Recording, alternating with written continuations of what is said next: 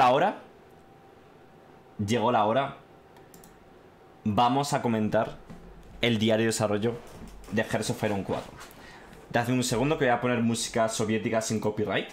Esto es un momento histórico.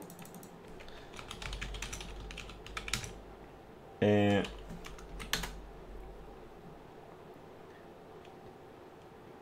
Una hora de marchas soviéticas rusas. Esperemos que no tengan copyright. De momento están monetizadas. ¿Se oye? La música soviética tiene copy, sí. La, la orquesta esta de la... De la Unión Soviética, el coro del Ejército Rojo o algo así, tiene copyright.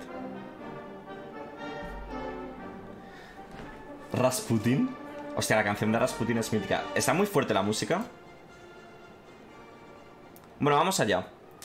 Eh, eh, eh, en fin, diario de desarrollo de Hearthstone 4, la Unión Soviética, primera parte del rework. Nos van a hablar hoy de la parte histórica y de las ramificaciones comunes. ¿La puedo subir un pelín? Buenas camaradas y bienvenidos a un nuevo diario de desarrollo de Hearthstone 4. Bueno, interesante esto tras eso, que ha habido un descanso. Que hemos a Papa Stalin.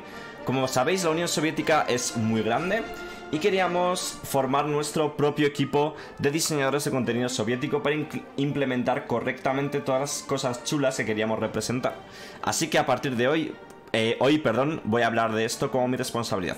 Nos está... El que escribe el diario de desarrollo es... Eh, Mano de Zombie, que creo que es un desarrollador español, ¿vale? Bueno, eh, su responsabilidad han sido la parte histórica y las partes comunes que son uno de los que son uno de los países más interesantes del HOI 4. Vamos a mencionar un poco de alguna cosa antes de empezar. Primero de todo, lo que vamos a hablar hoy va a ser gratuito con la actualización Barba Roja. Guay esto. Aunque algo de este contenido puede eh, que no esté disponible si no tenemos todos los DLCs anteriores. En segundo lugar, nuestra querida madre patria está todavía siendo trabajada. Así que muchos valores que vamos a ver, incluso el arte, no son definitivos y van a poder cambiar antes del lanzamiento.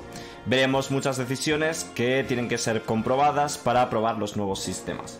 Con esto dicho, vamos a sentarnos tranquilamente y prepararnos para una larga lectura. es gratuito. entiendo que, que has comprado el juego, ¿vale? Porque en buena. O sea, el árbol de la Unión Soviética en sí es gratuito. En fin, leo esto Leo el flavor, no hace falta, ¿no? En fin, este país entró a la Primera Guerra Mundial como el Imperio Ruso, pero salió de ella como la Rusia soviética, habiendo perdido mucho territorio hacia la Europa Oriental como resultado del Tratado de Brest-Litovsk de 1918, donde los bolcheviques en Petrogrado cedieron el control de Polonia, Lituania, Estonia, Letonia, Finlandia y otras áreas a los poderes centrales. Ya que los poderes centrales no habían reconocido el gobierno eh, bolchevique, ninguna representación soviética Rusia atendió a la conferencia de paz de 1919 en Versalles, en la cual los antiguos territorios rusos fueron previamente cedidos a Alemania, se terminaron convirtiendo en estados independientes. En diciembre de 1922 la Unión Soviética fue formada y el término soviético significa concilio o consejo, ¿no? Emergió en, 1905 como grupos y asambleas de trabajadores rusos, soldados y campesinos, en oposición al zar. Estos soviéticos desaparecieron tras la revolución fallida de 1905, pero volvieron a emerger bajo el liderazgo socialista con la revolución de 1917 que tiró al gobierno del zar. Con los soviets, los bolcheviques liderados por Vladimir Lenin constituyen la estructura política del nuevo regimiento. Siguiendo la muerte de Lenin en 1924, Stalin llegó al poder y pronto comenzó a suprimir toda la oposición política dentro del partido, empezando con Trotsky y sus seguidores, pero volviéndose contra muchos de los que habían apoyado en su de los que le habían apoyado en su lucha política, una vez había pasado, una vez eh, como por ejemplo Zinonev o Bukharin, y desarrolló un clima de paranoia política y llevó a cabo la Gran Purga, que con más arrestos masivos y mucha represión dura de ciudadanos, militares e incluso eh, miembros del partido. Lo primero que dice es Drastuye Tovarishi, que es lo que dicen los aldeanos rusos del Age of Empires 3, qué chulo, tío. Pero esto es suficiente historia por hoy. Vamos a echar un vistazo a cómo se ve la Unión Soviética cuando empiezas la partida con ella en 1936. Aquí tenemos a Joseph Stalin, José Stalin, que decía un profesor de la carrera, que es corazón de acero. Ok, eh, gana un 5% más de poder político, tiene un menos 10% de estabilidad, un 5% más de apoyo a la guerra, tiene un menos 5% de opinión de mejorar relaciones y menos impact, Master Impact. ¿Alguien sabe qué es esto de Master Impact? No tengo ni idea ahora mismo.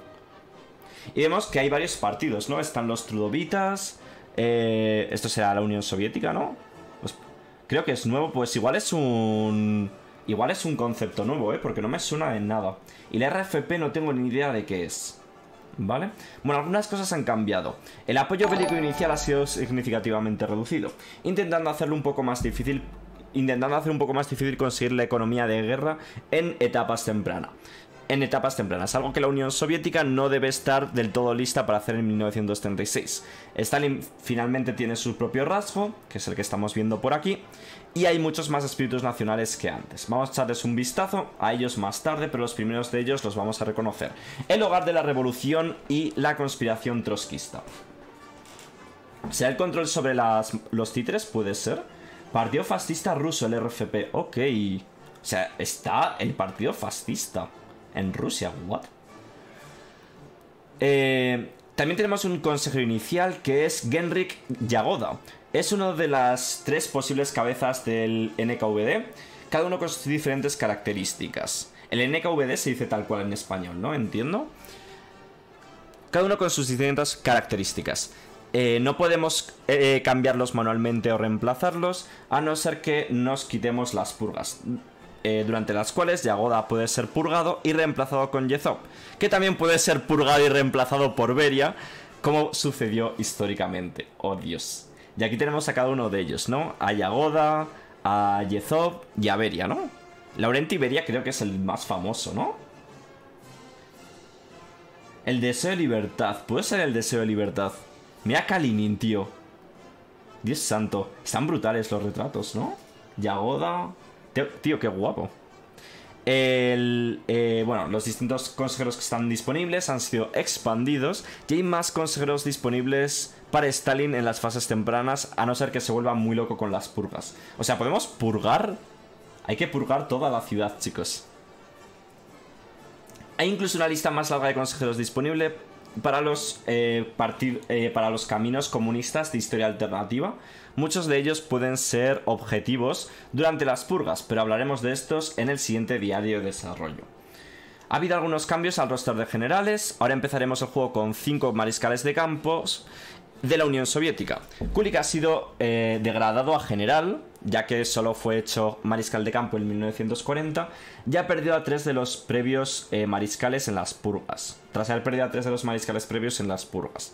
Tenemos un nuevo general especializado en la caballería, que es Vitaly Primakov, disponible al comienzo de la partida, aunque también puede ser un objetivo en las purgas. Antes purgar, purgar era un botón, ahora será más selectivo. A ver, vamos a ver esto. El escudo del partido fascista soviético. What? Ok. Y estos tíos seguían existiendo en 1939. Ok. Habría que ver cuándo acabaron, ¿no? ¿Cuándo fueron extinguidos? Por último, pero no por ello menos importante, eh, hemos enviado a varios generales soviéticos a un centro de rejuvenecimiento. Y algunos de sus eh, retratos, ya que algunos de sus retratos eran de eh, una época muy posterior a la guerra, pero como podemos ver, ahora no solo han vuelto, han vuelto unos 30 años más jóvenes o algo así, ¿no? Bueno. Mira el águila rusa con esvástica digno de los comunistas nazis. Dios santo.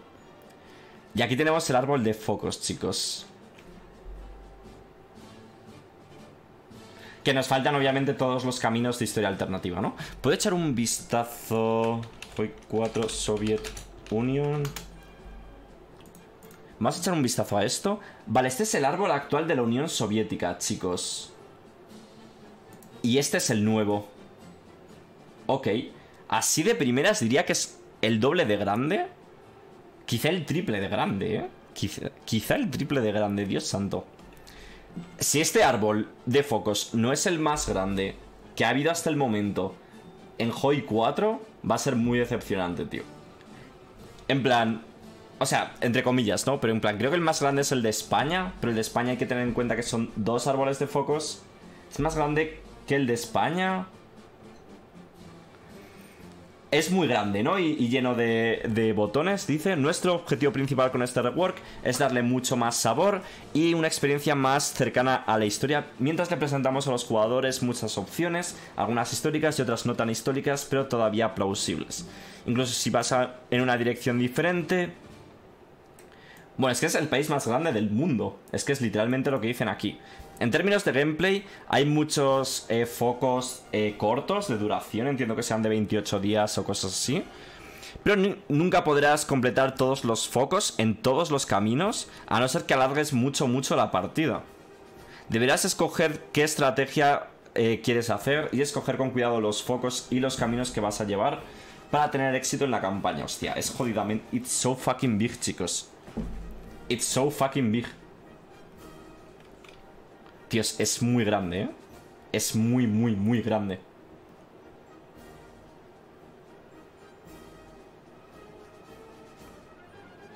Hostia, es muy loco, ¿eh?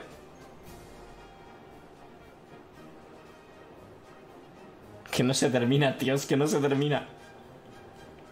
Es que no se termina, qué puta locura, tío. Vamos a flipar. En fin, vamos a empezar por el camino industrial. Vale, tenemos esfuerzo de infraestructura, eh, industria pesada. Aquí debería estar lo de tancogrado, ¿no? Que vimos. ¿Pero por qué es tan grande? Tío, es que es gigantesco. Y es solo el árbol, es solo el camino de industria. ¿Por qué es tan grande, tío? No está lo de tancogrado aquí, ¿eh? De todos modos. Durante los primeros años de mandato soviético, el desarrollo industrial y económico consistía básicamente en recuperar la eh, antigua agricultura rusa de la devastación de la guerra civil. De 1921 a 1928, la Unión Soviética empujó la nueva política económica reemplazando la política de comunismo de guerra, lo cual llevó al, al declive de la economía nacional. Durante el tiempo de la nueva política económica, parte de sus formas de producción, como la industria ligera o la industria alimenticia, estaba en manos privadas. Esto puso a... mientras que el Estado controlaba la industria pesada, el transporte, los bancos y el comercio internacional. De todos modos, durante la era estalinista, el principal objetivo fue la el establecer una base industrial en el país y durante finales de los años 20 las medidas fueron tomadas en contra de los kulaks, iniciando el colapso de la nueva política económica. Los kulaks entiendo que son los pequeños propietarios, ¿no? Entiendo, por lo que dice aquí, son como la burguesía pequeña, entiendo, ¿no?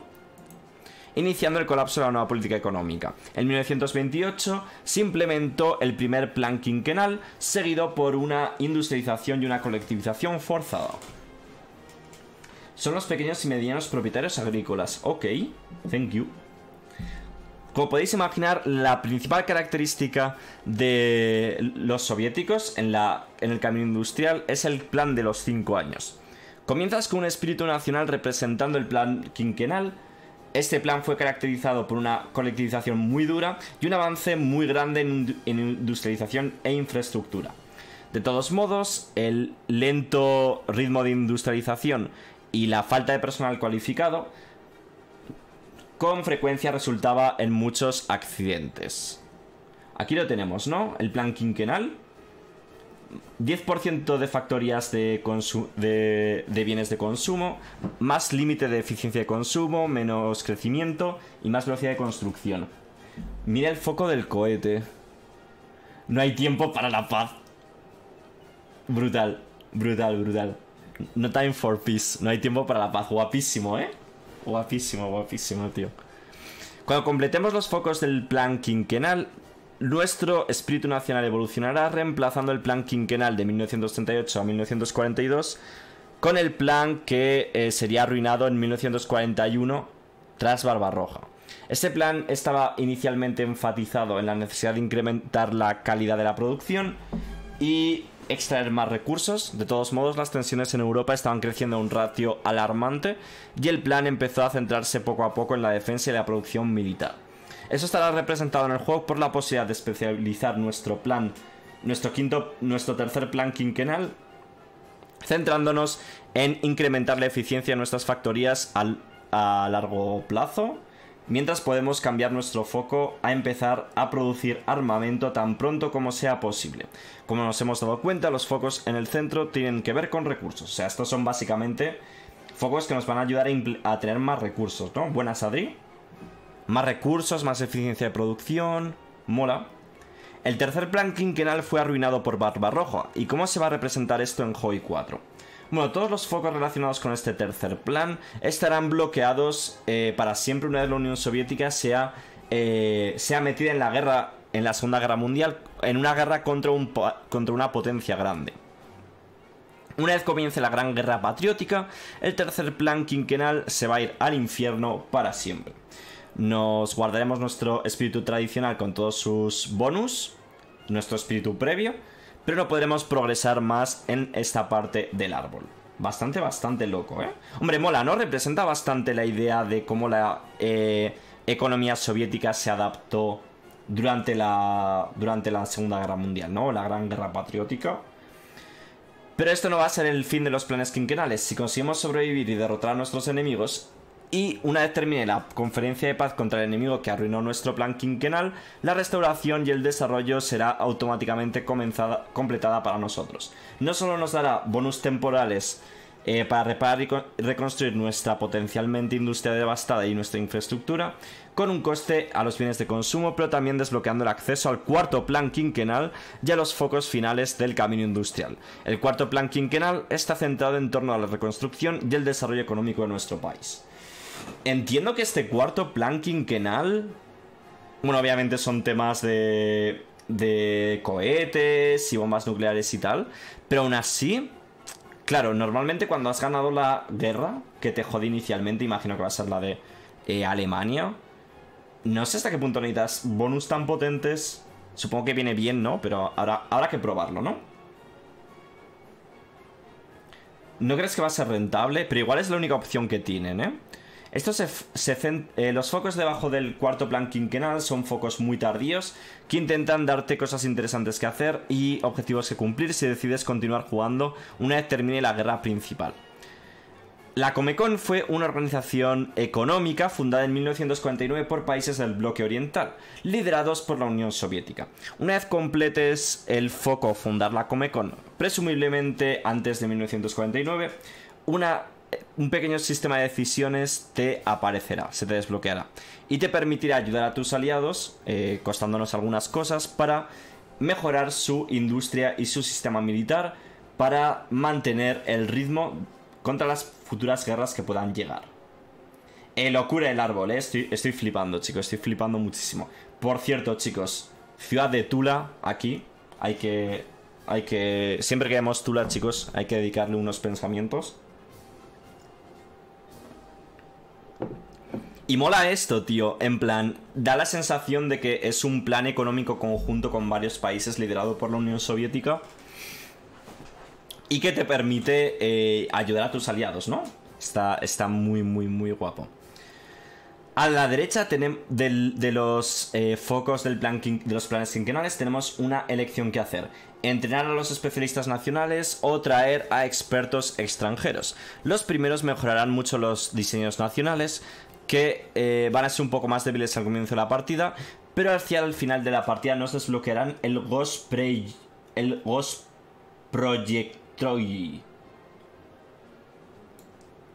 ¿Qué es esto? 10% de velocidad de construcción de la infraestructura de ferrocarriles, de factorías militares, de factorías civiles y de puertos. ¡Wow! ¿Qué es esto, tío?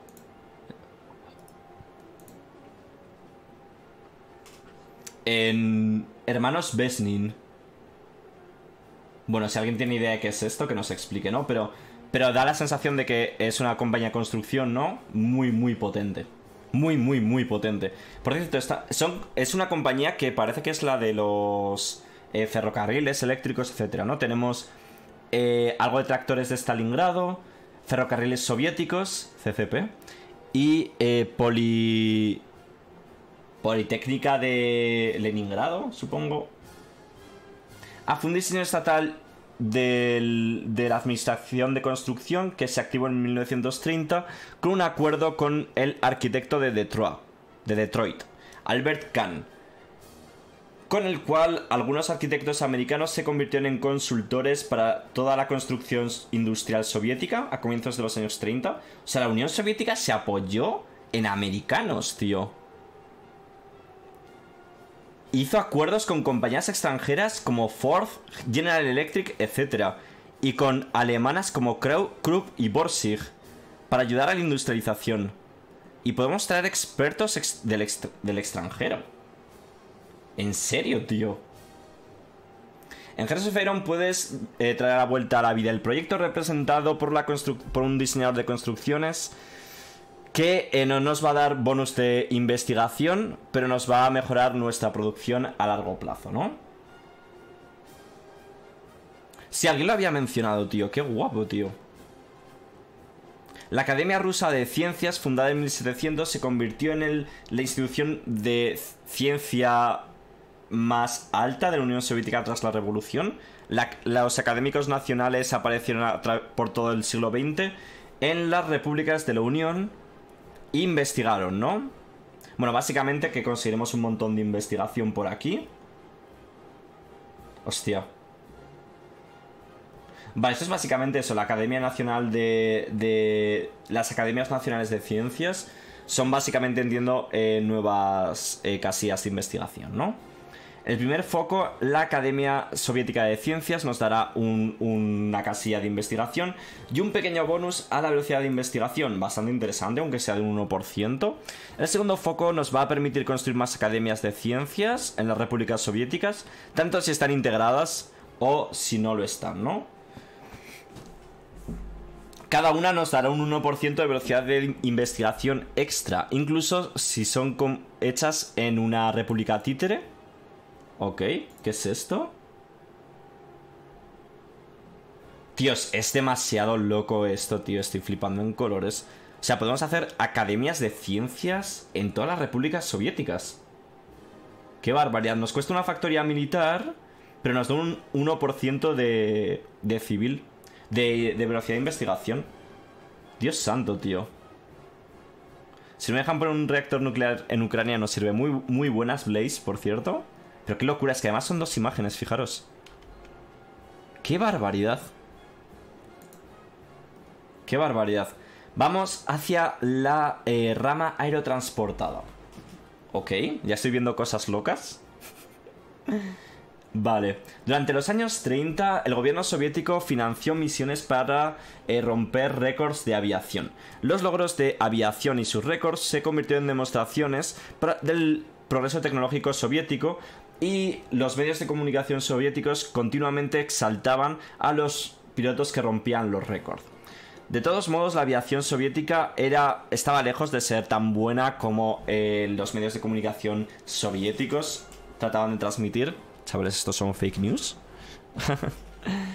de hecho, estaba plagada con eh, mala gestión, ineficiencia y equipamiento deficiente, lo cual llevó a muchos accidentes a principios de los años 41 en torno a 2-3 aviones se, perdían cada día debido a accidentes, lo cual llevó al famoso incidente del ataúd volador, el cual selló el, el destino de Pavel Ryachakov durante la Gran Purga.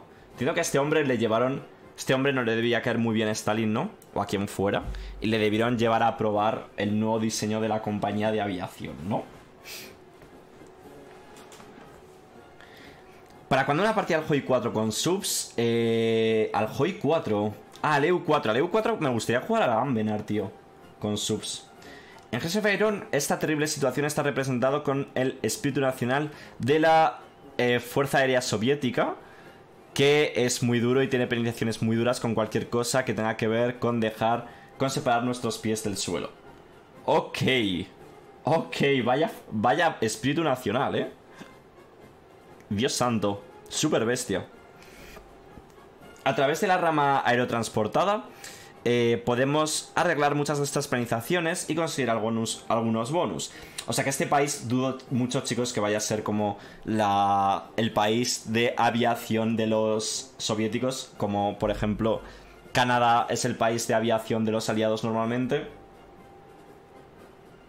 Hombre, es bastante bestia. Menos generación de, de ases, menos ganancia de experiencia. A ver, no es que sea súper, súper fuerte, pero desde luego no ayuda a que tengas una buena aviación, ¿sabes?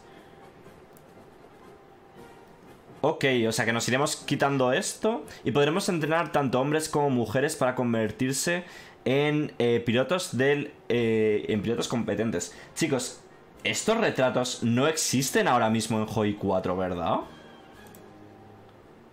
Estos retratos de los ases no se ven ahora mismo en Hoi 4. ¿Alguien me puede confirmar esto? Pero yo juraría que esto no existe, tío. Entiendo que vas a poder integrar a las mujeres en las Fuerzas Armadas en la Unión Soviética. ¿Y esto es...? ¿Siempre han estado? Ok. Entonces, mala mía, supongo. Pero entiendo que aquí pueden meter como flavor, ¿no? Pueden meter retratos y tal.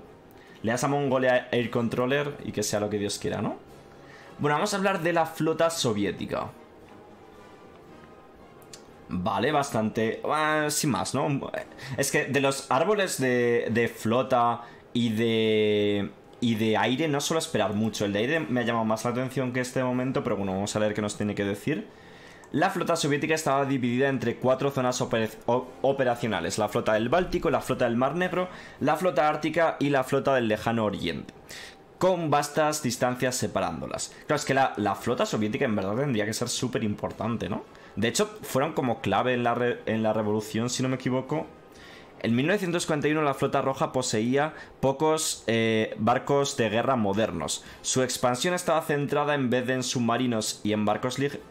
Eh, en vez de eso en submarinos y en barcos ligeros. Pues está bien esto porque es meta naval. Intentando proteger las costas del país y sus fronteras de ataques enemigos. Era la eh, estrategia defensiva naval. Tras las purgas, Stalin hizo que... Eh, hizo, convirtió la estrategia marítima en una ofensiva, pero la construcción de una flota más grande estuvo detenida por la guerra. De cualquier modo, cuando comienza la operación Barbarroja, los bombarderos alemanes se pueden centrar en los... Eh, en las bases aéreas en vez de en las bases navales. El Tercer Reich no necesita destruir la flota soviética mientras sus barcos consigan bloquear los, los barcos soviéticos en sus puertos con las minas. En la parte izquierda del árbol podemos reforzar nuestras bases navales en cualquiera de las cuatro flotas. Entiendo que esto es interesante, chicos, ahora que lo estoy pensando. Esto va a ser muy interesante, ¿sabéis para qué? Para invadir el Japón, ¿eh? Cuando empezó Barbarroja les pidió construyendo el acorazado Sovietsky Soyuz. Los cancelaron y cogieron lo que tenían construido para fortificar Leningrado y diversas ciudades. Ok, o sea que sí que se vio muy detenido el progreso de la flota. Tampoco era tan importante la flota, ¿no? ¿Cuánto lleváis con el diario de desarrollo? No sé cuánto llevo porque es jodidamente gigante. Hemos visto la parte introductoria, la parte industrial y estamos ahora con la parte aérea y estamos ahora con la naval. Podemos expandir las plantas de construcción de barcos para tener un montón de, de, de, de, puertos basado en cuántas bases navales hayamos reforzado previamente. Es que la capacidad de hacer bases navales que tiene Rusia... O sea, el único problema sería realmente gente que la operase. En plan, si metes bases navales en el norte de Siberia o algo así, como que no tiene sentido. Pero quizá en Hoi 4 puede tener sentido. Pero claro, no puedes, no puedes rodear el, mundo por arriba. Molaría que cambiasen el mapa para que pudieses... Astilleros, gracias, astilleros. Tío, viene muy bien comentar los diarios de desarrollo en directo porque me ahorro los, me ahorro los comentarios de YouTube de gente diciendo tracks, tío, que esto no se traduce así o cualquier cosa. En plan, me ayudáis un montón, tío. Mola mucho más. Bueno, y aquí efectivamente podemos expandir las plantas de construcción de astilleros. Eh, nos va a dar un un espacio de construcción y un, y un puerto, ¿no? Un astillero. Ok. Por cada estado con una base naval que hayamos reforzado con árboles de focos propios. Dios, pues vamos a poder sacar una flota tochísima con la Unión Soviética, ¿eh? Va a requerir mucha inversión, obviamente, Pero si quieres, rollo, focos a históricos, no ir a pegarte con Alemania, ir a pegar a Japón, tío, yo creo que con esto se puede conseguir. Bueno, el árbol de focos de la derecha nos puede dar el espíritu nacional de la flota roja. Que es este, el PC. No sé qué es el PC, el... ¿El algo? Este espíritu nacional nos va a mejorar, va a ser todavía mejorado más en los focos de abajo, basado en nuestras elecciones eh, si queremos luchar con en guerra submarina o guerra eh, superior, ¿no? En plan guerra que no sea submarina. Muchos de ellos nos van a dar experiencia naval, eh, bonus de investigación tecnológica y menos y reducción de coste de producción. Vale, lo interesante de esto, por lo que estoy viendo en general en el árbol de la Unión Soviética, es que nos dan como eh, focos que vamos a ir mejorando poco a poco. Este así de primeras no parece muy tocho, en plan nos da bonus de investigación que está muy bien, y un poco de velocidad de reparación y, y, de recuperación y tal, pero esto lo vamos a ir mejorando poco a poco. Tengo un tier maker para hacer para que hagas cuando, eh, cuando puedas. Pues cuando terminemos de comentar el, el diario, si queréis. Vale, eh, pues eso, podemos elegir entre la guerra en la superficie o la guerra en las profundidades. Y esto nos va a desbloquear este árbol de este foco de Long Rider de Long Run Riders, algo así como asaltantes de largo alcance. Nos va a desbloquear los submarinos de crucero y nos va a añadir varios submarinos de clase K a nuestra línea de producción. Esto tiene pinta de que matan de puta madre, en plan, tiene pinta de que esto está pensado para matar y destruir culos. También podemos expandir la Morskaya Aviatskaya, que nos va a dar bonus para nuestros acorazados y para nuestro, nuestra flota, de, para nuestros portaaviones. y nos va a dar también un, un acorazado para nuestra línea de producción. Submarinos de crucero. PC Puerto Comunista. Ok. El Morskaya Vieskaya entiendo que es un... Eh, ¿Cómo se llama? Un portaaviones gigantesco, ¿no? Tiene toda la pinta. Puerto comunista y la bandera comunista. Mm. Vale, que es una prank. Pero esto tiene pinta de ser un portaaviones, ¿no? Vamos a mirarlo. Morskaya Aviats Aviatsika.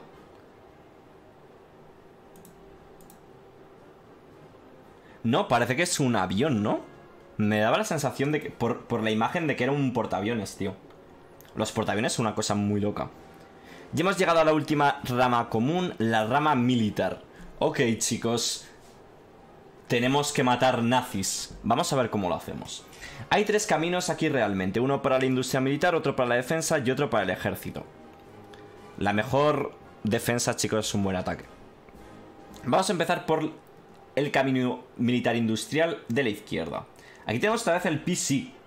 ¿Qué coño es el PC? PC of Mechanical Engineering. No tengo ni zona qué es el PC, chicos. Molaría saberlo. Aquí podemos encontrar distintos eh, bonus de investigación y de producción y algunas factorías militares y algunas, eh, algunas eh, plantillas de tanques. Aquí está lo de tancogrado, por cierto. Es que no lo hemos encontrado, tío. Lo de tancogrado igual es de un foco de historia alternativa. Aquí está, desarrollo de tancogrado. Yeah, lo hemos encontrado, chicos. Vale, vale, no sabemos lo que es el PC. El desarrollo de tancogrado va a hacer que sea más barato editar las plantillas de tanques, mientras además producimos industrias eh, en aquellos estados muy industrializados en los Urales y en el este. Esta rama va a, consistir en utilizar más hombres que los alemanes balas. Tiene que llegar a un punto en el que se queden sin balas, ¿no? Por último, pero no por ello menos importante, vamos a hablar de eh, fusión de tanques y plantas de materiales. ¿Os habéis dado cuenta de que son focos similares a los de las ramas aéreas y navales? ¿Qué es esto? Bien, durante mi investigación de los diseñadores soviéticos me di cuenta de la complejidad de... Eh, de seguirle en la pista a un candidato de diseños durante la línea temporal del Hoi 4, ya que muchas plantas están muy repetidas, renombradas incluso rediseñadas, fusionadas o divididas entre distintas administraciones. Algunas veces las plantas o administraciones enteras serán mezcladas en incluso agencias más grandes. Y otras veces una planta eh, solo, era fusionada en una más grande para centrarse en más aspectos de investigación y desarrollo, por ejemplo. Pero no... Por último y no por ello menos importante otra vez, tenemos la evacuación de plantas enteras del oeste hacia el este. Esto mola mucho, tío. Llevada a cabo por los soviéticos un poco antes de, que, de la Operación Barbarroja y por supuesto durante la guerra, lo cual resultó en más fusiones, renombres y eh, cambios de propósito de distintas plantas de producción, ¿no? Ok, entiendo que los soviéticos ya sabían que los alemanes les iban a atacar y empezaron a mover la industria antes incluso que comenzase la operación Barbarroja. Eso suena loco, tío. Pero incluso imagino que la moverían de Ucrania y cosas así. Porque Ucrania es básicamente puro campo, tío. Aquello, o sea, puro campo en plan de que no es. No debe ser tan difícil de invadir como los Urales. El Political Committee, el Politburo, puede ser, ¿eh? Necesitamos más hombres. Estos focos nos van a desbloquear decisiones para fusionar distintas plantas en nuestros diseños activos.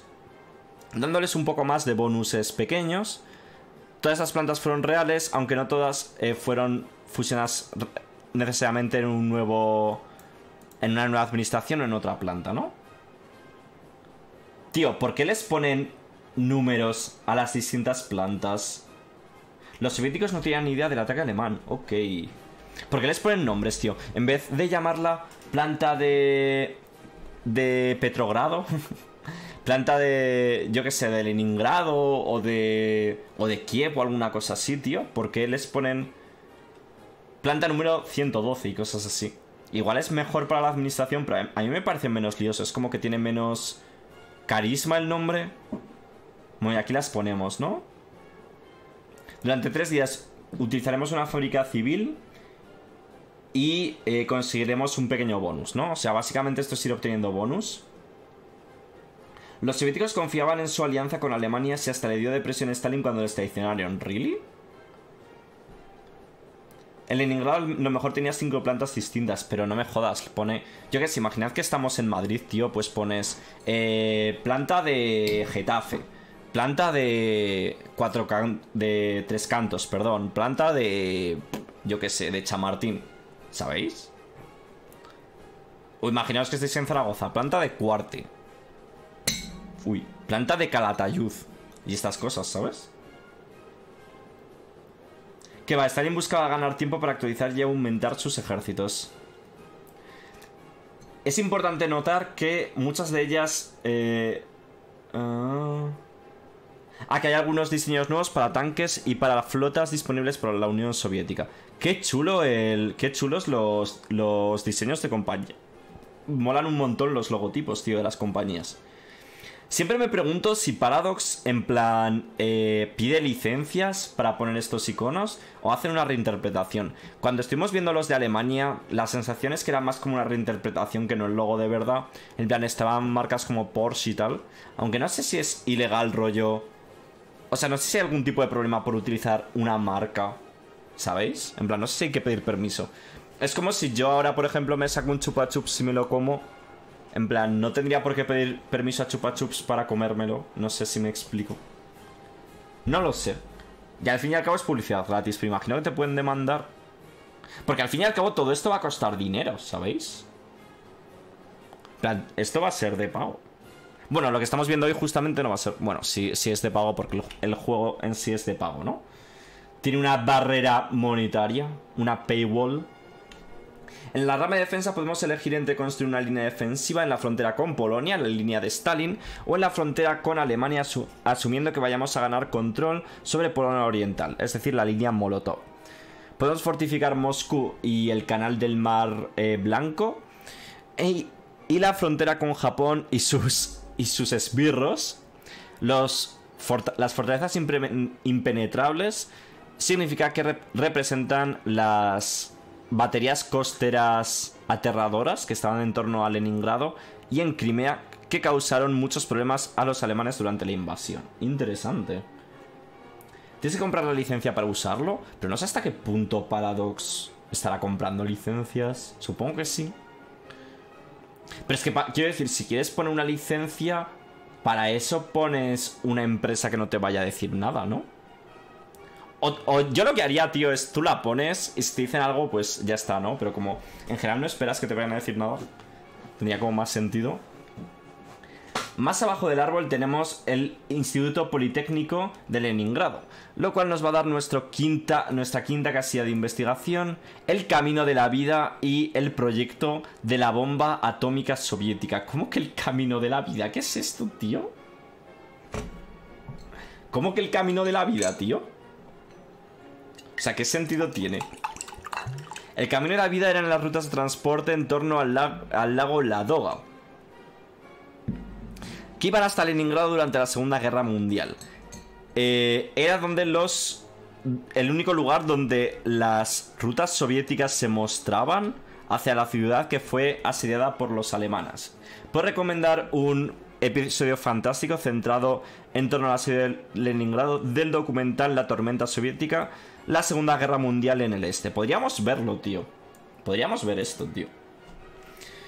Encuentro el documental completo muy interesante y divertido de todos modos.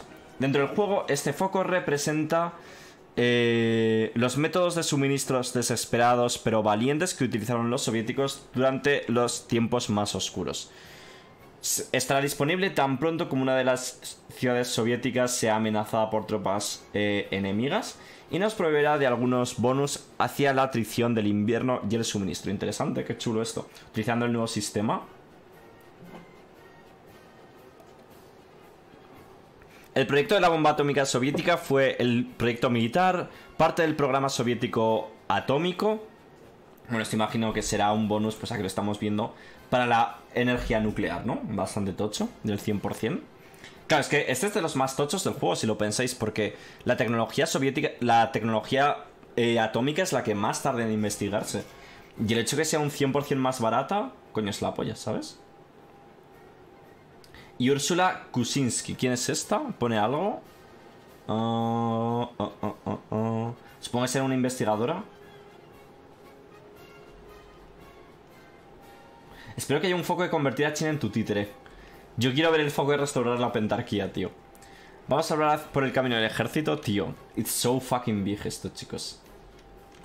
El camino del ejército es uno de los más importantes del árbol y tiene un montón de contenido relacionado con él, así que hablemos de algunos de los aspectos claves empezando con los espíritus nacionales iniciales. El ejército estaba muy politizado y era muy, muy, muy ineficiente. Eh, incluso a través de las discusiones políticas y, de la y, del adoctrinamiento en torno a las tropas, había muchos beneficios para, para aquellos que eran del partido. Eh, el ejército politizado puede ser mejorado conforme avancemos por el árbol de focos. Vale, ¿qué nos está dando? Ok, un montón de coste de doctrinas, que sabéis que lo, lo cambian también con, el siguiente, con la siguiente actualización. Como podéis ver abajo, el ejército rojo tiene un montón de modificadores rojos. Es que, chicos, es el ejército rojo, ¿no? No os preocupéis por esto, la mayor parte de los focos de este, de este camino van a lidiar con estos modificadores rojos, gradualmente poniendo a nuestro ejército en una mejor posición. Ya, tío, ya, tío, ojalá fueran así de detallados todos los diarios de desarrollo, ¿no? Como este. Este está muy guapo. Una vez eh, reforcemos el plan de movilización con algo de manpower y velocidad de, movilización, nos encontraremos con una decisión que hacer. Restaurar las unidades cosacas o hacer primero la cohesión. Tras la guerra civil rusa, las tropas cosacas fueron desbandadas. O sea que los rusos utilizaban a los cosacos, bueno, obviamente, ¿no? Ya que muchos de ellos se alinearon con el movimiento blanco. De todos modos, en 1936 las, restricciones del reclutamiento de cosacos para el ejército rojo fueron eliminadas y muchas divisiones de caballería recibieron el estatus de divisiones de cosacos. Al llevar el uniforme cosaco que estaba anteriormente prohibido, también se restauró. Eh, este uniforme también fue restaurado, ¿no? Y con este uniforme caminaron las unidades cosacas en su primer desfile militar como parte del ejército rojo en 1937 y en otro desfile militar en 1945. Seguimos teniendo... O sea, el ejército rojo... Bueno, el ejército ruso sigue teniendo unidades de cosacos. Seguro que esto es interesante de ver. En plan, en el desfile del Día de la Victoria, si hay unidades de cosacos. Porque me parece interesante, tío. Que como que mantengan un cuerpo de una división militar tan antigua, ¿no? Suena muy chulo. Dentro del juego, restaurar las unidades cosacas nos va a dar un pequeño bonus a la caballería. Y un nuevo general y unas pocas divisiones, incluyendo una nueva plantilla de caballería cosaca. Espero que tengan modelo único, tío. Estaría guapísimo. Siendo que hay camellos en el juego, espero que tengamos cosacos. Además, también tiene sentido porque los polacos seguro que pueden sacar cosacos también. Siendo honestos, esta plantilla está inspirada por la composición de las caballerías, de las divisiones de caballerías, más tarde, en torno a 1941. Pero queríamos ofrecer al jugador esta plantilla de caballería tan interesante desde la que trabaja. Que aquí la estamos viendo, ¿no? Llevan un poco de, artillería motorizada, tanques pequeños. Mola, tío. Lev Dovatar. Conseguimos un nuevo general. Está guapo, tío. Me parece como típico elemento de flavor que mola que introduzcan que no suele haber cosas de este estilo. Así que bienvenido sea. En cambio, si elegimos cohesión primero, conseguiremos un, un bonus a la organización de nuestras divisiones a cambio de un poco de tiempo de entrenamiento extra. Bueno, los focos de rehabilitamiento militar y de reorganización militar han recibido algunos cambios. El primero nos va a dar... Eh, va a estar disponible una vez nos deshagamos de la paranoia de Stalin y de las purgas. Pero Stalin era paranoico, tío. Es que... Perdón, ¿eh? Nunca me ha quedado claro esto, chicos. ¡Hombre! Based Nordic, muchísimas, muchísimas gracias por esa suscripción de nivel 1, 5 mesazos. Muchas, muchas gracias, tío. Chicos, tengo una duda que plantearos. Nunca me quedó claro si Stalin era un paranoico, es como la imagen que se ha querido vender de él, o realmente había motivos para tener esa paranoia. En plan, no sé hasta qué punto es parte cada cosa del todo. La reorganización militar ahora se ha convertido en una reorganización de verdad durante la cual tienes que lidiar con un montón de penizadores que sean aplicados cuando empecemos el foco. De todos modos, una vez el foco haya sido completado, no solo nos desharemos de esas penalizaciones, pero también de nuestro espíritu nacional, del ejército rojo que también conseguirá... No nos desharemos de esos penalizadores, sino que también nuestro ejército, espíritu nacional del ejército rojo conseguirá algunos bonus para modificar las plantillas de las divisiones. Ya, ya entiendo que, cuando, te, cuando empiezas a eliminar a la oposición, a meter gente en la cárcel sin ton ni son, es porque tienes miedo de la oposición, porque tienes miedo que te asesinen y cosas así. Pero quiero decir, el hombre vive de viejo. O sea, vive de viejo, soy tontísimo, tío. Quiero decir, el hombre muere de viejo. bueno, muere muere por lo que sea, ¿vale? Creo que es salud. O sea, no, no muere porque lo asesinen. O sea que a nivel de supervivencia supongo que puedo decir que lo consiguió. Aunque los modos no fueran probablemente los mejores, ¿no? De forma similar, las medidas desesperadas y las lecciones de la guerra también han recibido cambios. Medidas desesperadas ahora puede ser tomado cuando estemos en guerra contra una potencia mayor y nos dará un bonus temporal para las compañías que estén en el campo, así como un distintas decisiones para ayudarnos a contener la invasión enemiga. Qué guapos los trenes, chicos. Qué guapos se ven los trenes. A ver, pero también porque entiendo, dado el clima y el panorama político, o sea que no lo defiendo, ¿eh? no, no, lo, no lo justifico, pero me parece razonable como eh, reacción suya, siendo que él, uno, tenía el poder, dos, le querrían asesinar mucha peña, le querría asesinar. Entonces, entiendo que la reacción lógica es esa, ¿sabéis? Las lecciones de guerra solo pueden ser tomadas una vez eh, el espíritu nacional de las medidas esperadas haya sido, se eh, desaparezca, representando como una vez los soviéticos han sufrido muchas bajas, y muchas derrotas.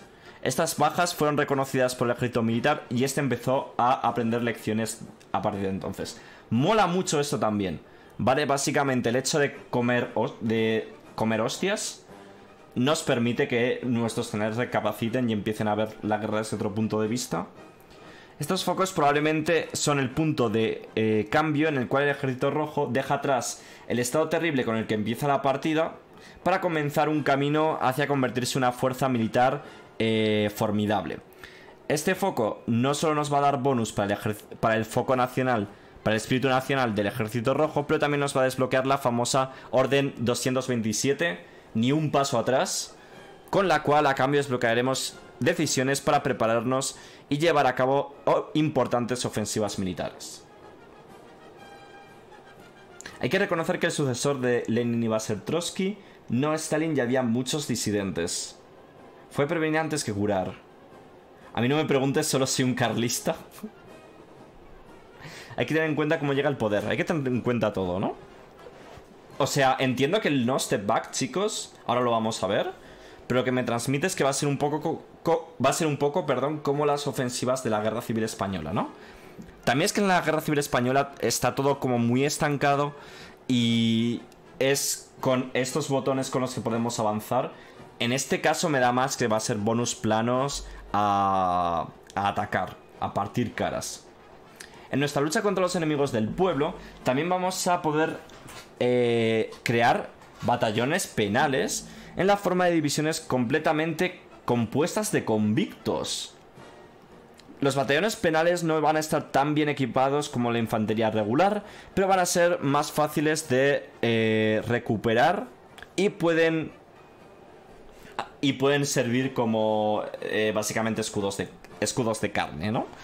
Así que si no nos importa mucho nuestro manpower, pues podemos hacer uso de ellos, ¿no? Y esto entiendo que es un batallón de convictos los cast son como los desterrados, ¿no? Estrafalla cast.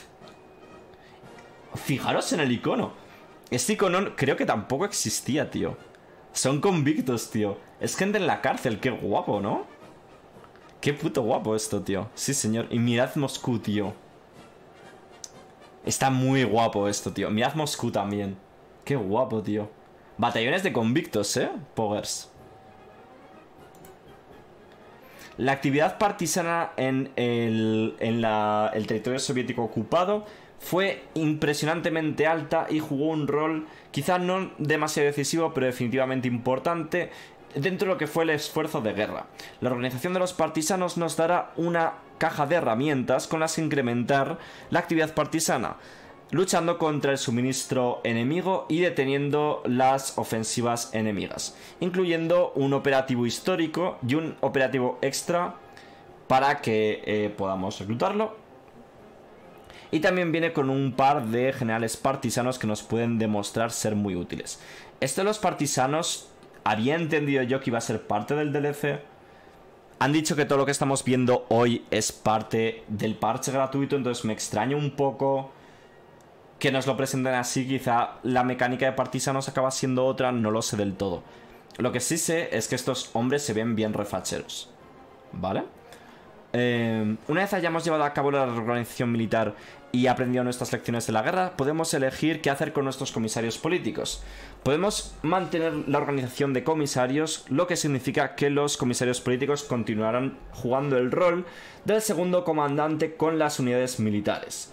También podemos cambiar a consejeros políticos e intentar incrementar la eficiencia de subordinar oficiales políticos a los oficiales de comando, permitiendo más libertad para el comando militar, mientras los nuevos consejeros políticos están más centrados en funciones más relacionadas con la moral. ¿Los trenes van a ser visibles? Sí, sí, sí. Sí, Cid. Y los ferrocarriles los podremos construir nosotros, etcétera, ¿no? Bueno, y aquí las tenemos, ¿no? La gloria del ejército rojo va a ser más fácil de desbloquear cuando... Eh, la gloria del ejército rojo nos va a hacer más fácil desbloquear las últimas doctrinas que nos queden y colocar más fuerzas especiales en el campo de batalla. También nos desbloqueará una versión específica soviética de la táctica de guerra del, Blitzkrieg, de la guerra relámpago, así como un nuevo general, ya que he leído un montón sobre el general Rivalco en distintas fuentes durante mi investigación y creo que se merece un lugar en el roster de los soviéticos, ¿no? Ahora vamos a saltarnos el, el, camino político por un momento y meternos en el camino de asuntos internos, un camino común en, los caminos comunistas. Ok, esto entiendo que es un poco ya el... el ministro de Interior, ¿no? El lidiar un poquito con, con la disidencia interna y estas cosas, chicos. Dios santo, tío. Puedo dividir esto en varios vídeos perfectamente. Como tenemos aquí los distintos caminos. En este camino va a ser introducida el nuevo sistema de campañas de propaganda. Desbloqueado por el foco expandir eh, la propaganda de agitación.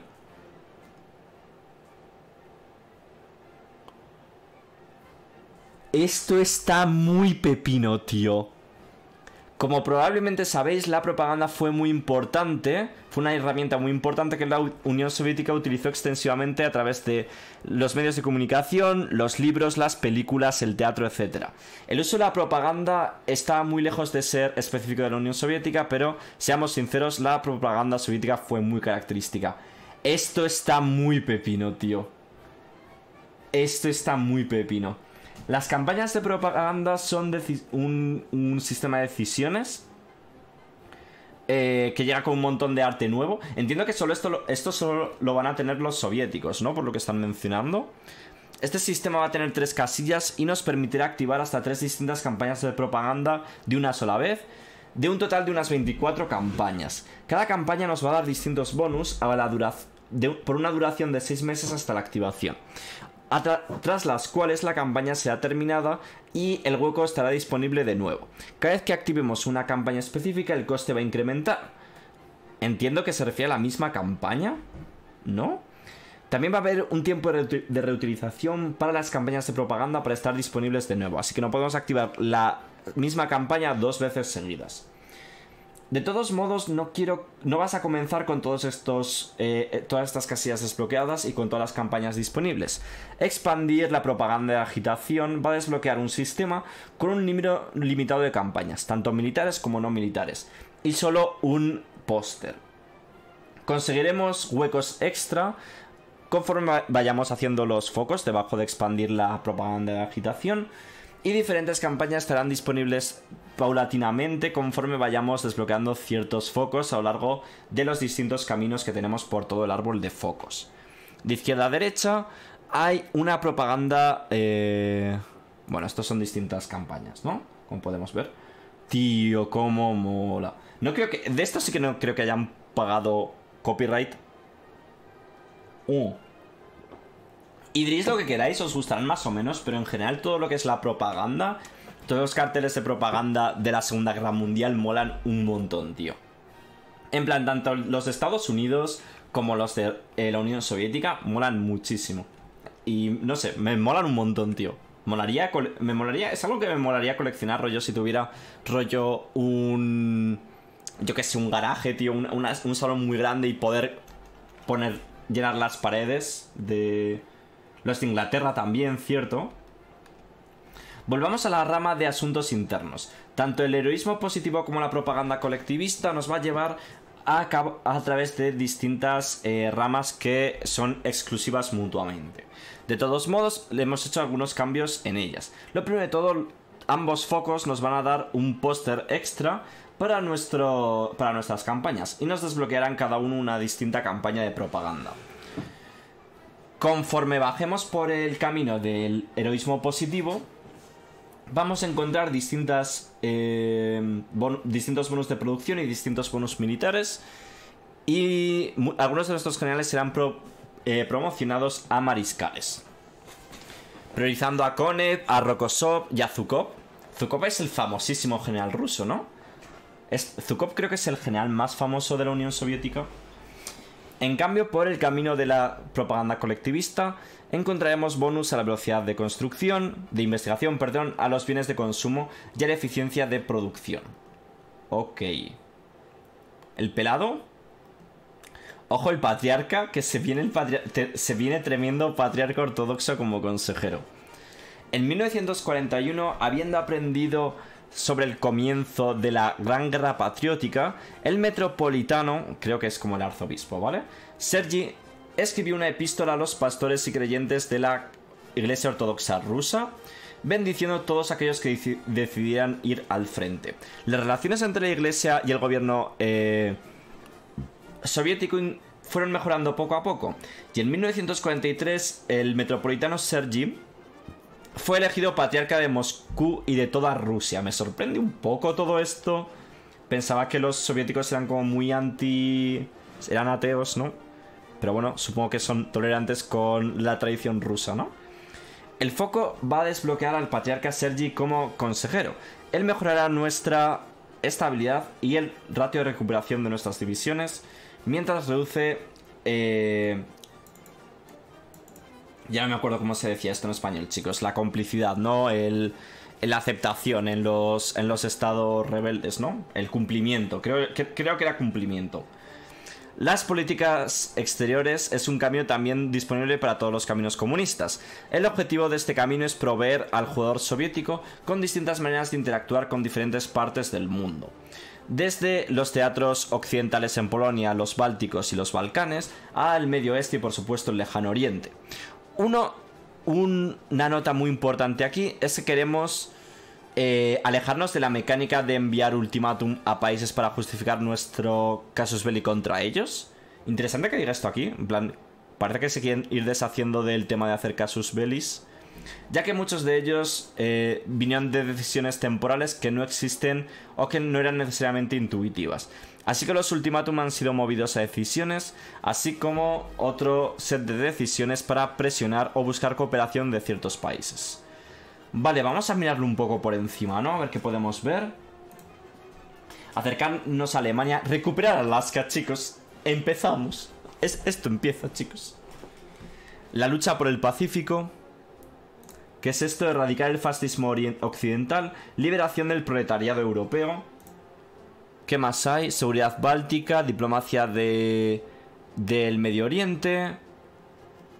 Asegurar Leningrado. Reclamaciones en Polonia. Eh, la apuesta del Gobi. Dos banderas rojas. Supongo que esto tiene que ver, con la... Eh... Stalin era católico ortodoxo. No puede ser católico y ortodoxo con Lusin. Sería católico ortodoxo, pero católico ortodoxo... China era ateo de, de puertas para afuera. Stalin era ateo de puertas para afuera. Ok. O sea, rezaba el tío y tal. Ah, no tenía ni idea la rama de desarrollo oriental está centrada principalmente en preparar a nuestros aliados menores en Asia para la guerra y podemos construir algunas factorías para ayudarles a colocar más tropas en el campo de batalla, así como incrementar su eficiencia defendiendo sus propias fronteras. Podemos, por supuesto, anexionar a Tanutuba. Chicos, no podemos anexionar a Tanutuba, lo siento. Tío, es tan masivo el árbol de es tan masivo el árbol de, la Unión Soviética, es tan jodidamente grande, y al contrario que el de España no es que se divide en dos, es tan jodidamente grande que entiendo que hayan dicho que va a haber muchos, muchos focos de que sean pocos días, porque es que si no es imposible, tío. Y ha dicho que va a ser, han dicho que va a ser muy difícil que lo completemos en una partida, salvo que la alarguemos mucho.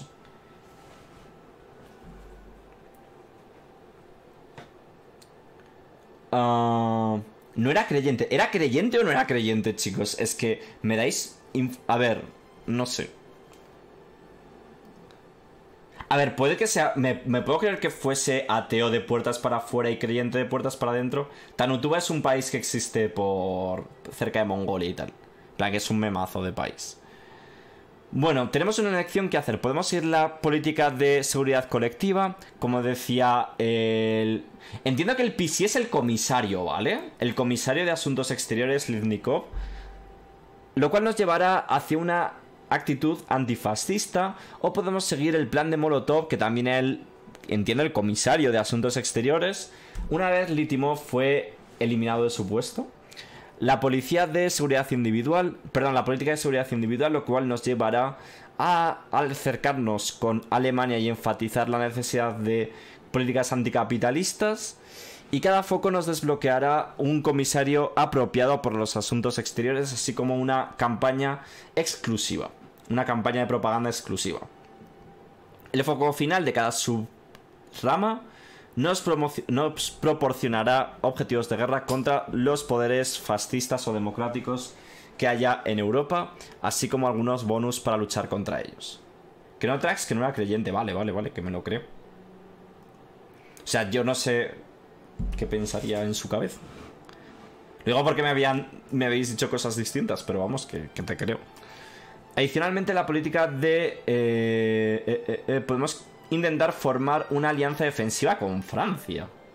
Ok. La alianza ruso-francesa era la de la Primera Guerra Mundial, ¿no? Que eso se estudiaba en el instituto. Pero bueno, imagino que requerirá de una Francia histórica, imagino. Aunque no lo sé. Supongo con ellos que con nosotros, ¿no? Estos caminos en el medio son básicamente una, elección, una visión un poco más expandida de lo que había antes del, rework. Bueno, esto es conseguir distintas reclamaciones, ¿no? La seguridad báltica y la diplomacia de Oriente Medio influenciarán a los países de la región. Y después tendremos que buscar distintos focos para cooperar con algunos países o mandarles un ultimátum. Ok.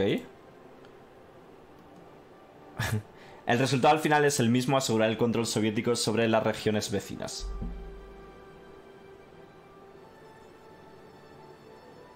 Jolín Caladín, tranquilo, tío. Que no he dicho nada malo, tío. No sé, no, hace falta enfadarse. En fin, en el teatro oriental, la primera elección va a ser eh, si queremos aliarnos o enfrentarnos a Japón. Ok. A ver, si luego quieres entrar a explicarnos algo, me parece perfecto. Pero no te. No hace falta ponerse nervioso. Si decides, si decides trabajar contra Japón, podemos elegir eh, nuestro país chino favorito y hacerlo nuestro protegido. Hemos de darnos cuenta que la Unión Soviética ya no estará lista para mandar voluntarios a cualquier país chino. O sea, esto lo cambian, ¿no? Porque antes sí que se podía hacer esto. Pero solo podríamos mandarle voluntarios a nuestro mejor amigo chino. Si decidimos ayudar a la República Popular de China o al Kuomintang, podremos darles algunos bonus a licencias que también nos desbloquearán alguna decisión por localizar para enviarles equipamiento. Dios santo, chicos. Por otro lado, si elegimos ayudar a nuestros camaradas en Xinjiang, debemos intentar desarrollar una relación simbiótica. Durante mi investigación de las relaciones chino-soviéticas, me di cuenta de la interacción y los tratados con Xinjiang que eran muy interesantes. Xinjiang era rica en muchos recursos como el petróleo, el oro y otros minerales eh, de mucho valor, pero la Unión Soviética repetidamente trató de incorporar la región a su esfera de influencia. Victoria 2 vibes, chicos. Eh, intentaron eh, básicamente recoger más recursos en distintas regiones, en las cuales se encontraron depósitos de petróleo, así como tungsteno y otros materiales. Por no mencionar el interés de comprar otros bienes comerciales como la lana o otros productos manufacturados. manufacturados.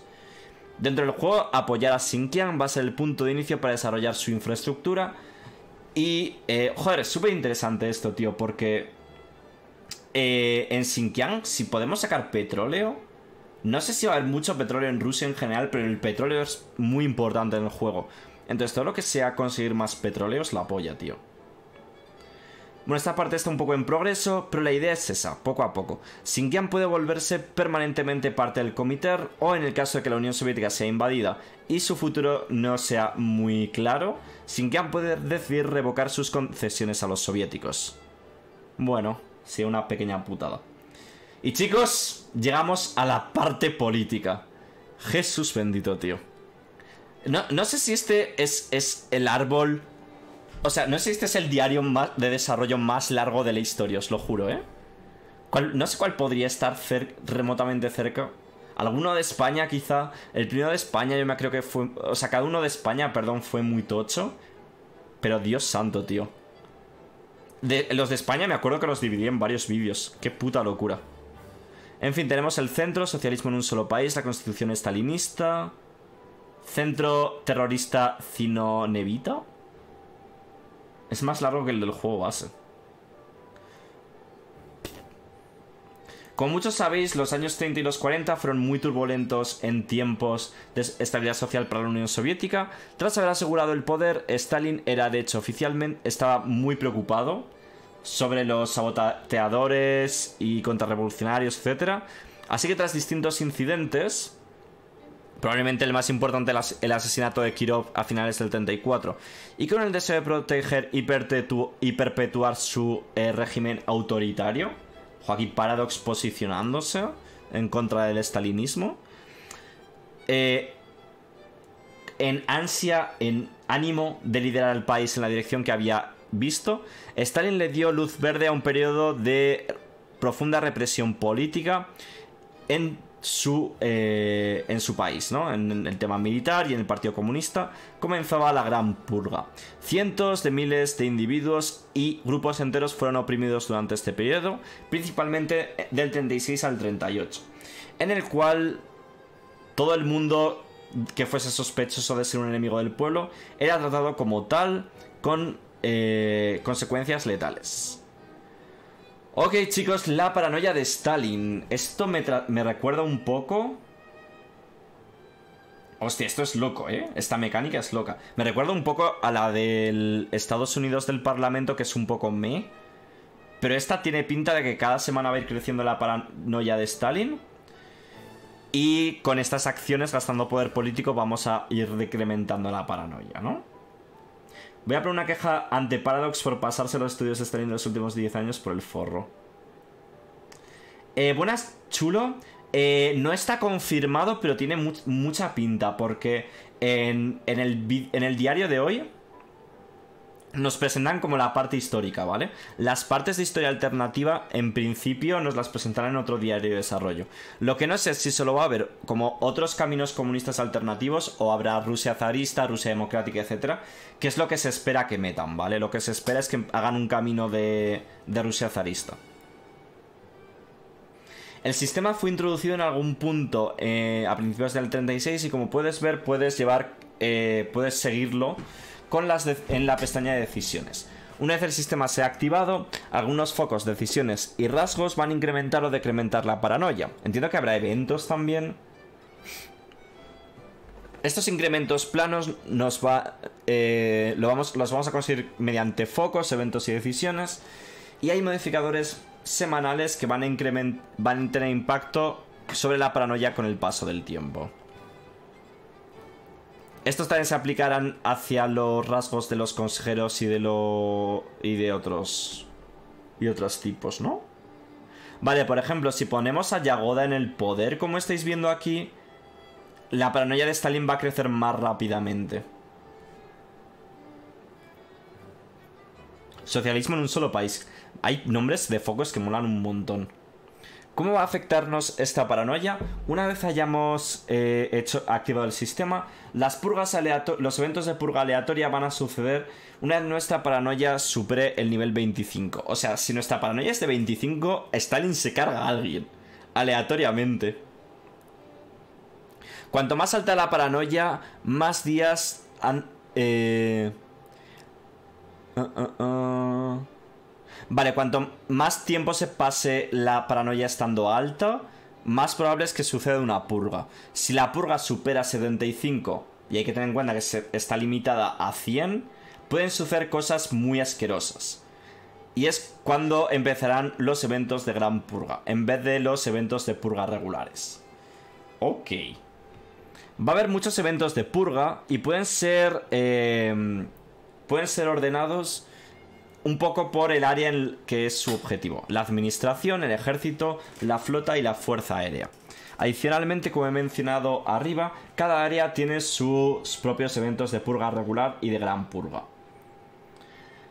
Los eventos de purga regular van a purgar normalmente a un único. Eh, a un único personaje. Puede ser un consejero político, un jefe de la flota, un mariscal de campo.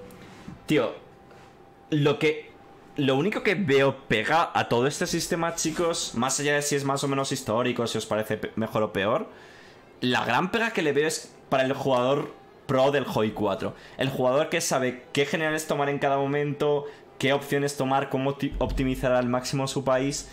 Siendo que Stalin se puede cargar a alguien aleatoriamente. Imaginad, tío, que se carga el puto mejor general en el minuto 1, ¿sabes? El, jugador hardcore de HOI 4 se va a tirar los se va a tirar de los pelos. Va a decir Paradox metiendo RNG en el juego, tal. Ahora, esto está guay también porque va a cambiar como un poco cada partida. Las purgas regulares eh, se van a cargar a alguien o nos van a dar algunos penalizadores en forma de espíritus nacionales. Las grandes purgas son muy, mucho más peligrosas y sus efectos varían de dar eh, espíritus nacionales eh, malos a purgar a un número de personajes. Incluso disolver un diseñador de la Fuerza Aérea, tío. Hostia. O sea, se puede cargar. Se puede cargar una compañía, tío, por ejemplo. Como podéis ver, el sistema está en progreso, etcétera, etcétera, etcétera. Purgar siempre reducirá la paranoia. Pero también puedes intentar evitar purgar a alguien cuando una purga suceda. Pero esto va a costar mucho en poder político. Vale, o sea que cuando va a purgar a alguien puedes decidir no purgarle gastando poder político. Pero eso incrementará la paranoia. Hostia, mirad esto, tío. Mirad cómo se queda esto, tío. What? What? Con el nuevo sistema de paranoia y, las purgas queríamos hacer que el juego sintiera el impacto de las purgas no solo en términos de puro gameplay, sino en términos del pueblo. Así que empezaremos con una gran cantidad de personajes eh, como consejeros políticos y militares. Vale, eso tiene sentido, ¿no? Que empecemos con muchos personajes ya que no vamos a tener todos al final. Esta lista se va a ir reduciendo poco a poco, por lo que sea. Y al mismo tiempo la interfaz de paranoia empezará a crecer más y más y se llenará de eh, retratos genéricos conforme vaya avanzando la purga. Increíble cuadro, bonito cuadro. Deberían poner algún tipo de mecánica como lo que pasó. Purgas a alguien que más tarde echas en falta y lo restituyes como algo similar como pasó con Rokosovsky. O sea, entiendo, por ejemplo, eh, que has purgado a alguien y luego te arrepientes y lo vuelves a traer. O que traes a alguien similar, ¿no? Ahora, ¿cómo nos deshacemos de la, de la paranoia de Stalin y de las purgas? Si queremos ser stalinistas. Claro, porque si no somos stalinistas, pues echamos a Stalin y a tomar por culo, ¿no? El árbol de Stalin está dividido en dos partes. La parte alta, antes de que terminen las purgas, y la parte baja, una vez hayamos, hayamos eliminado el sistema de paranoia.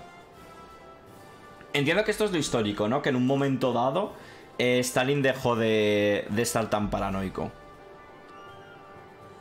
Vale, este árbol de misiones nos va a dar... eh, perdón, este árbol de focos, chicos, nos va a dar algo de estabilidad, poder político y un eh, espíritu nacional bastante... Bastante débil, que se llama el Politburo, que va a ser mejorado con los focos de este árbol, como un montón de focos que hemos visto hasta el momento. Estos focus van a tener que animarnos a purgar gente en eventos como los juicios de Moscú y los juicios de los generales. Estos, estas purgas siempre eh, serán un intento de tener... El objetivo de estas purgas siempre será gente que fue históricamente purgada. Y eh, si uno de ellos ha sido ya eliminado del juego, algún candidato aleatorio será elegido para rellenar eh, su hueco, ¿no? Estos focos relativos a la purga tienen un requerimiento de, tiempo de enfriamiento que prevendrá al jugador de rusear esta parte del árbol. Pero una vez completes el bloque de derechos y los trotskitos y los trotskistas... Trotskistas, el tercer juicio de Moscú saltará y el sistema de paranoia será eliminado para siempre. Las purgas habrán terminado. O sea, tenemos que hacer como tres juicios tochos con Stalin para quitarnos la paranoia. Ok. Los trotskitos. Importante anotar que algunos de estos. que algunos de estos focos en distintos caminos estarán bloqueados hasta que nos deshagamos del sistema de paranoia. En caso de lo que nos estemos imaginando, cortarle la cabeza a la serpiente nos desbloqueará dos operaciones en un intento de matar a Trotsky cuando está en México. Uno es asaltando su villa, lo cual sucedió en mayo del 1940. Y otro es una operación más sutil, representando a la que realmente mató a Trotsky tres meses tras el asalto. Tener éxito en matar a Trotsky no solo eliminará nuestro espíritu nacional del complot trotskista, pero también reducirá sus penalizaciones, ¿no? Ok, pues dos operaciones eh, únicas. Esto es lo que se referían un poco con que si no tenías algunos DLCs anteriores no podrías acceder a esto. En el sentido que si no tienes la Resistance, pues no tendrás esto disponible, ¿vale? Si juegas con México y quieres jugar con Trotsky, necesitarás tener contraespionaje. Totalmente, tío. Totalmente. Tiene sentido eso. Es verdad que puedes poner a Trotsky en el poder en México, tío. Ahí es cuando, ahí es cuando empezaron los memes, yo creo, en los árboles de focos del Hoi 4. Podemos hablar finalmente sobre la última parte del árbol de focos, el culto a la personalidad de Stalin. bueno, padre de naciones, tío.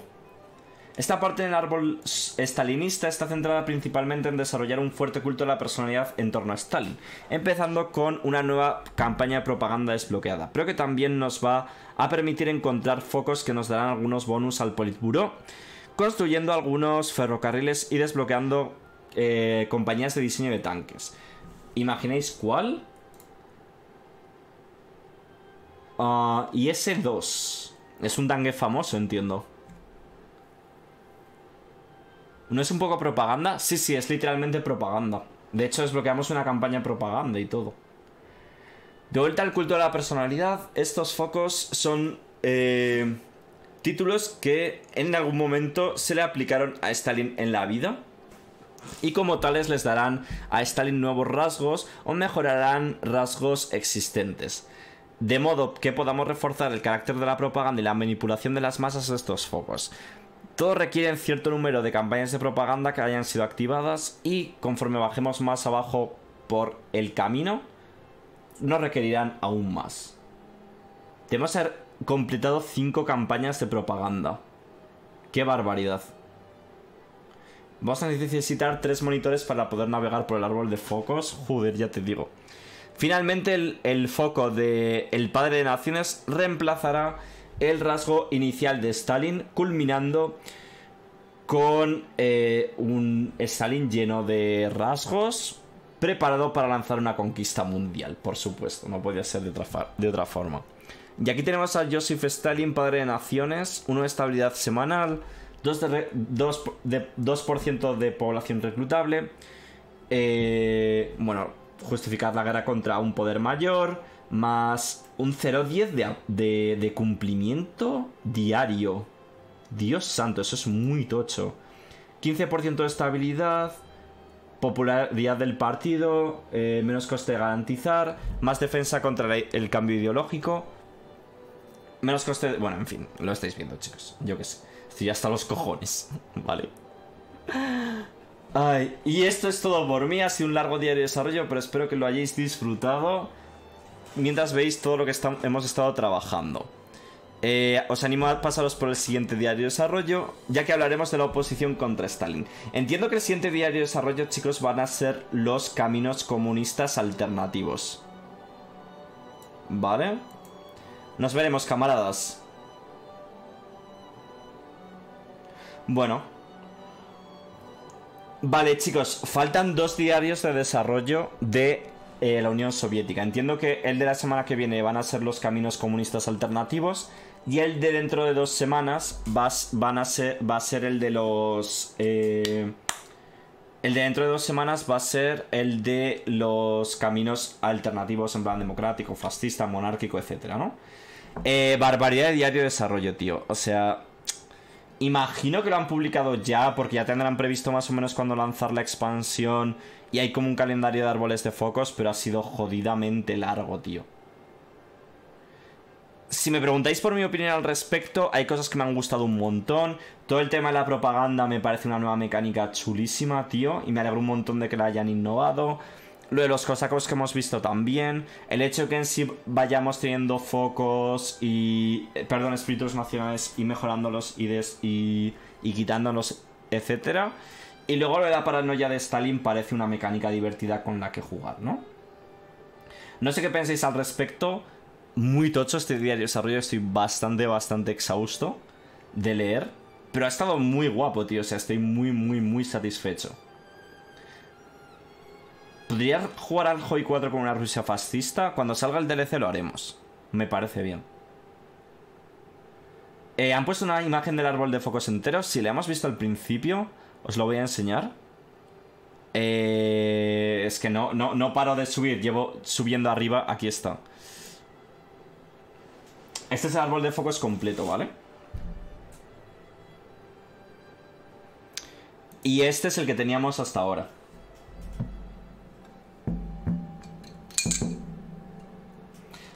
Y obviamente lo que digo, ¿vale? Eh, lo que digo, aquí falta mucho de ver, ¿vale? Aquí faltan los caminos comunistas al- los caminos eh, comunistas alternativos y faltan los